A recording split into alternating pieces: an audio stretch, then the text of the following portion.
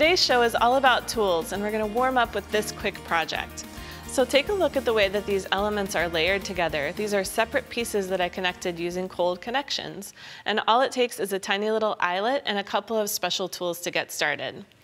So eyelets come in a variety of different lengths, and the reason you need a different length is because when you're stacking different elements together, you may need a longer piece just to keep it all together.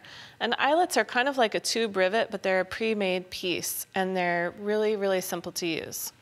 So what we'll do first is just layer a few elements together, and I really love the look of this Celtic and basket weave, and then this little spacer, kind of using some different mixed metals here. Of course, that's a popular way to make it look like um, you're making some really professional high-end finished jewelry because all of these oxidized finish really kind of blend it all together even when you're using different colors. So I just layer three different pieces together here.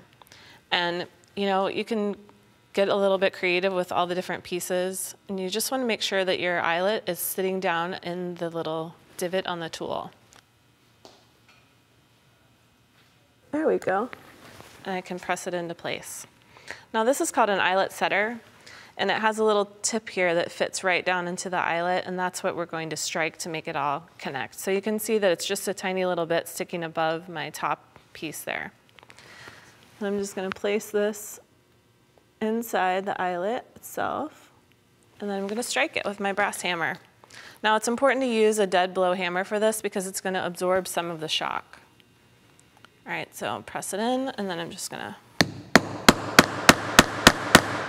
strike it down. And then it's all fastened together and it's permanently together in your piece and you can hang this on anything. You could make this an earring, but I like to use these little pinch bails and this is gonna make it a really cute little pendant for a necklace and you can just squeeze these together with your fingers.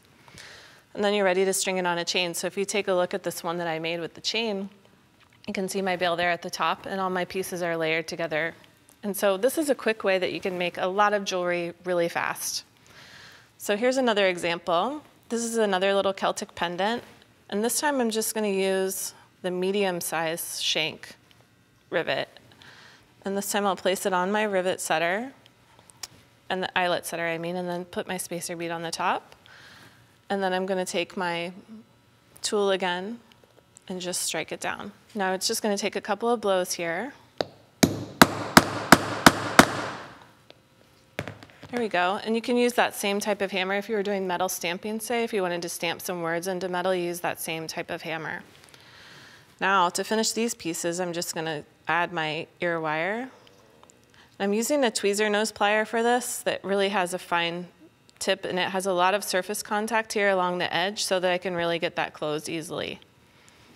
And I'll just go ahead and attach my ear wire to the other one so that I can finish up this pair course, you can mix all the different colors together. I like the oxidized silver and silver together for these earrings. But I'll show you what it looks like when I layer three different pieces together for this. So this is a link. And now these pieces here that have two holes are usually you're linking them together in a row, but this way you can use those same holes. If it was too small, say for example, if this one didn't fit my eyelet through it, then I could just use a hole punch that's meant for metal I'm just going to place this on here again. I think it's even easier to keep it in place if you stack it while it's on the tool. So I'll go ahead and add some more. And then I'll get my rivet setter one more time on here. And then strike it down. I like the way it looks with the copper and the antique silver and the antique brass all together. There we go. And then I'll add my ear wire.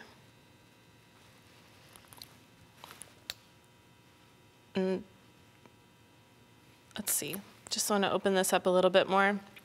Now, if you wanted to add more links to this, you sure could, or you could add a jump ring here so that your ear wire has a little bit more dangliness too. And close that up. And then we have one more to make. And look, we've made two pairs of earrings and a necklace all here in less than five minutes. So let's go ahead and place our eyelet right on the tool. Then we're gonna place this through. We'll just do one more. And then our basket weave and then we're gonna add a spacer bead here. And stack it up, strike it again. All right, there you go. Now I'm add my earwire and these are all finished. In less than five minutes, you've got a quick little warm up that really gets you ready for making jewelry.